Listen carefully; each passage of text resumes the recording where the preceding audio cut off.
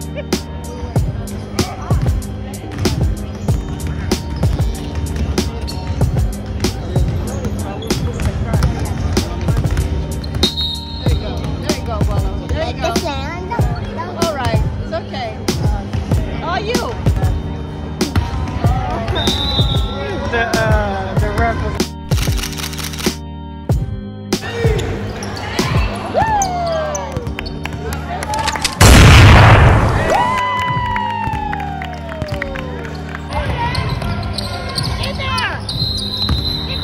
So